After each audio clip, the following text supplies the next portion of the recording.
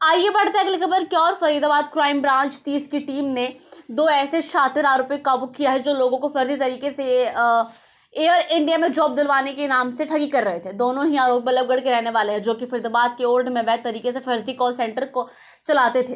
Police ने दोनों आरोपियों को काबू कर दोनों आरोपियों के कब्जे सोलह मोबाइल फ़ोन और दो लैपटॉप सहित करीब साठ सिम बरामद किए फ़िलहाल पुलिस ने आरोपियों कोर्ट में पेश का पाँच दिन का रिमांड लिया ताकि और भी मामले का खुलासा हो सके।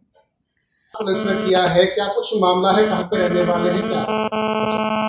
हमें इन्फॉर्मेशन मिली थी कि भाई दो आदमी फर्जी वेबसाइट और फर्जी वो बना के लोगों को नौकरी देने के बहाने उनसे पैसे हटते जिनका नाम दिलशाद और मनीष।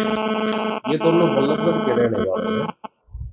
जो इन्फॉर्मेशन मिलने के बाद हमने इनको ओल्ड के एरिए से जहाँ ये अपना कॉल सेंटर चलाते थे, वहाँ से हमने इनको अरेस्ट किया है। और इनके पास से तेरह मोबाइल और तीन एंड्रॉयड फ़ोन और दो लैपटॉप बरामद हुए हैं, जो ये लोगों को फर्जी कॉल करके और फर्जी लेटर बना के झांसा दे के नौकरी दिलवाने के बहाने पैसे क्या करते हैं, जो अब तक सैकड़ों मामले हैं।